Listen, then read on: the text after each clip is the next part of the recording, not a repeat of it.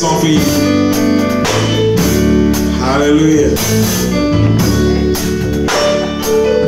She would say, You never sing my song.